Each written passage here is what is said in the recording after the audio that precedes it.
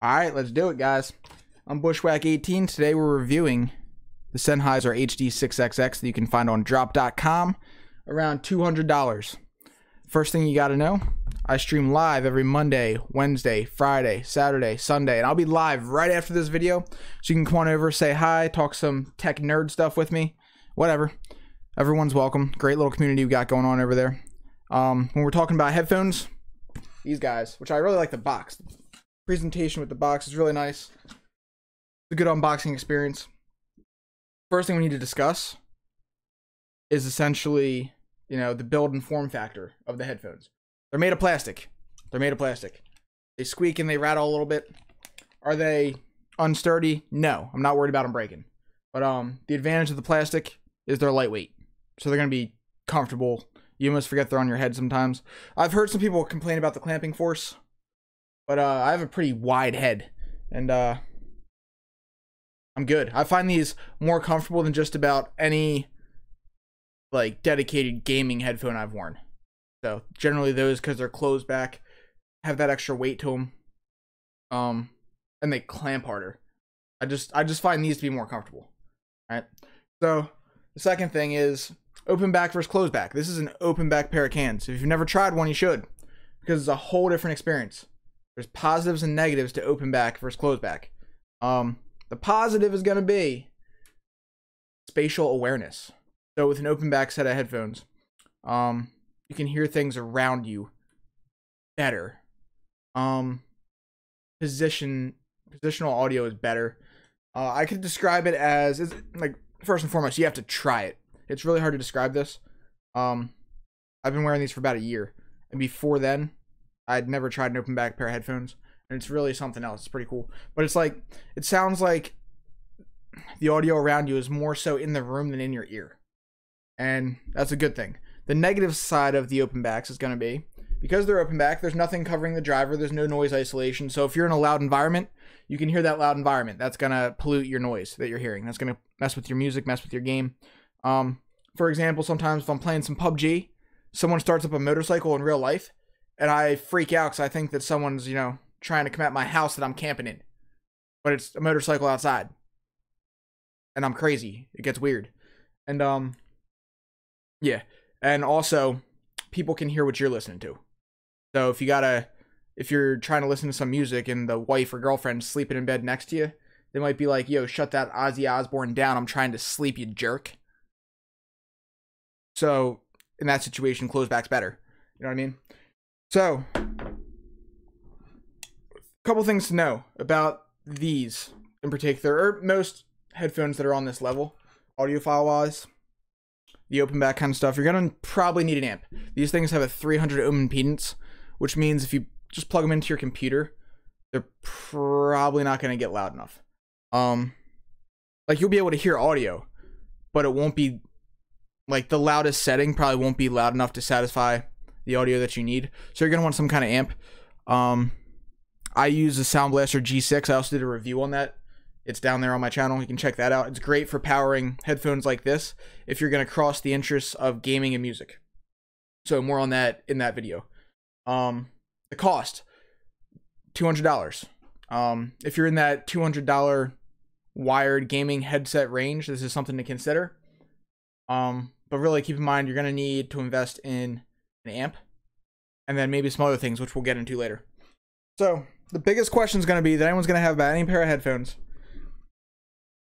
how do they sound miraculous amazing delightful substantially worth it to me. As long as you're not in a situation where using these is less than ideal. You need a quiet environment. If you're in a quiet environment, these things sound ridiculously good for music. Um there's there's kind of an adjustment phase that I went through because every pair of headphones that I had really used up until these were really closed back, bass heavy, commercially available in your local Best Buy kind of headphones and they have that that typical sound that you expect. You know, a lot of bass, really fun, really lively sounding. I always thought that was good audio. When you first put these on and listen to some music or play a game, it's it's kind of shocking because it's different. And what I mean by that is, um, at first it almost sounds really conservative with the noise. It sounds very flat. Um, that crazy ear busting bass isn't there. It doesn't jump out at you. But as you relax and get into these and really listen for a little while, you start to notice, and this is like a audiophile thing. You'll hear this. You'll hear people. You'll, excuse me. You'll hear people say this all the time, but literally, I think it's true. I would be listening to songs that I'd heard a hundred times before, and when you're just sitting back listening, you hear things in the song that you haven't heard before. And maybe you've heard them before, but what these do is they bring that detail to the front. And it's it's so effortless to just hear those things. And it almost slows the music down in a way that it's it's easier to pick different instruments out and things like that. And that's really cool to me. It's a whole different take on music. And it's like once you, you know, listen to these for a while and go back to those, you know, Beats by Dre, you know, Turtle Beach gaming headphones, Skull Candy, whatever. Um, they sound like they're really missing something. Really missing something.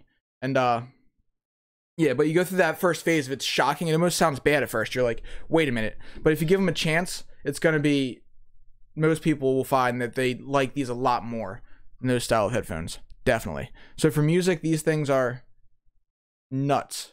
Awesome. These are my favorite cans to listen to music with, hands down. And I've I've actually found myself just listening to music for, you know, just an hour out of nowhere. I would never just sit in this chair here and listen to music, but I've done that with these things because that's how good they are. Uh, one thing to note is, like I said, you're gonna want an amp, and you're also gonna want a um, hi-fi streaming service like Tidal.